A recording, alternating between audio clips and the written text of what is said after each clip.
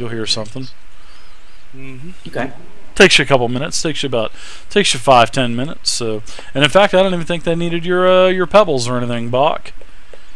So I picked up a few too, but I think that, like you said, uh, there's enough metal and wood and other crap around here.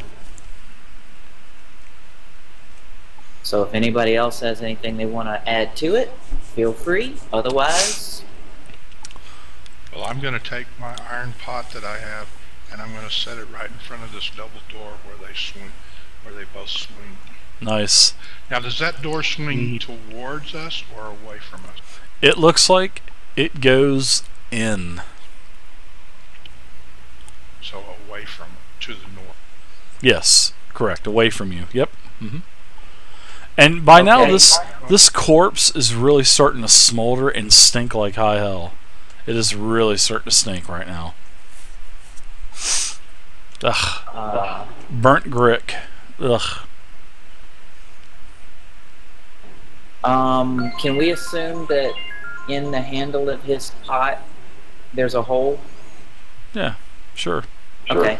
There's Then a hanging hole. take- then what I'm going to do is I'm going to give him a couple feet of my fishing wire, and I'm going to tell him to string the fishing wire around the door handles, and then loop it through his pot. So since it's going to open the Oh, other man. way, it'll break the rope and drop the pot. That'd be pretty cool. Good idea. Damn, good idea. I like that. And then I am going to pull out my bow and arrow again. I am going to ask someone to cast light on the tip of the arrow. And those I'll three holes up at the top, I'm going to shoot an arrow into each of those holes to see if there's anything else up there. You take your time, you line the shot up. A couple of the holes are sort of towards the middle, so you have you basically have to lean over the edge as everyone else is, you know, holding on to your leather armor. Or if they let go, you would just basically fall into the pit. But you're able to, uh, they're able to balance you enough to where you get your shot off. There's nothing else up in there. You notice that there's a there's just a bunch of ash and soot, and uh, that's basically why it's not ventilating that good. You know, it's like uh, like Gim with his engineering check earlier. He basically uh, that's basically what he thought was going on anyway. So that was his. Uh, that's what his theory was on how, why the smoke was there. So I would ask Well, all the guys that are going to be sleeping while, you know, on the first shift, that they sleep over in this corner away from everything. That way we can warn them enough time for them to be able to get up.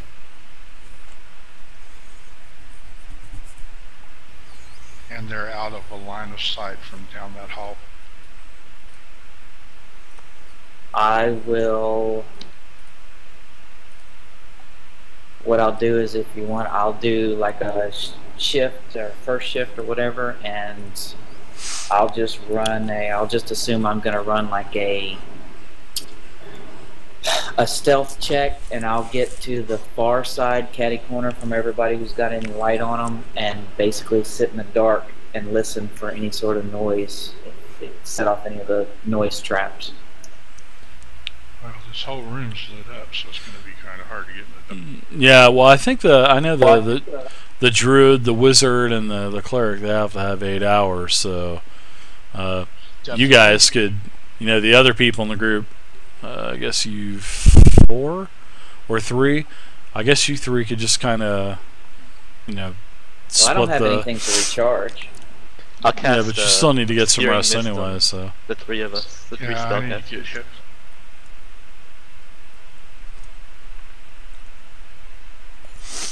Get hit. All right, so you guys.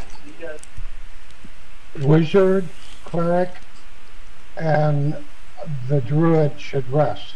Yeah, they got to get eight hours apiece. So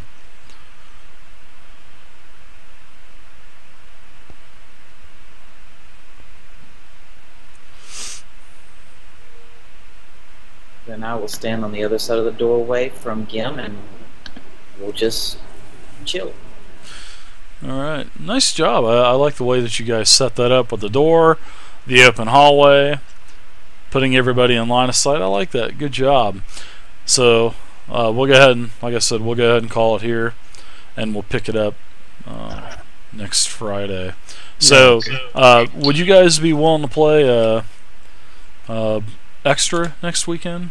Because there's a lot to do Sure. in this place. So, Sure. uh, Yes, yeah, okay, cool. No So problem. let, let's plan on going uh, at least an hour later next week. So uh, I I don't want to start that this week because we'd be playing till like three or four in the morning. So and I honestly I can't do that because I got to get up and go to church in the morning. So you guys know I'm a church goer. So yeah. I might check speed if well, we got our, our rolls aren't good enough tonight to keep going. Holy cow! Our rolls were horrible, guys. I mean they Tell truly me were. about it. Yeah. Man. Well, guys, seriously, I had a good time tonight, and uh, you guys are good. Just uh, you know, if you guys got any questions about anything, you know, it's a learning process for all of us. So, uh, but anyways, thanks for playing tonight, guys, and hope No you guys problem. enjoyed it because I.